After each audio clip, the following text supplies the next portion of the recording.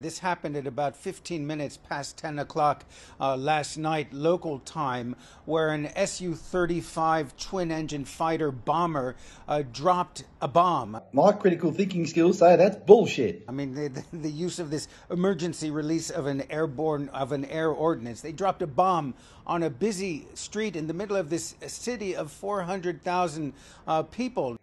Bullshit. Now we saw on CCTV uh, that uh, the, it hit sort of on a sidewalk by the side of this busy road. More bullshit. Have a look at the video.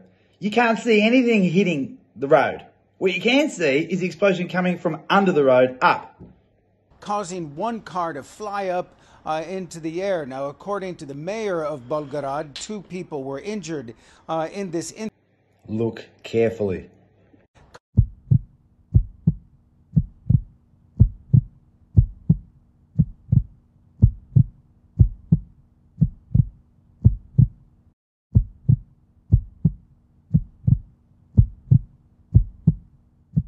Now, if you can see the car going past and the bin, I'm sure you can see the bomb hitting the ground, but you can't. You see the explosion from the ground coming up. It's a planned false flag. For fuck's sakes, it exploded like a pimple on a fucking 14 year old's face. There's something happening here.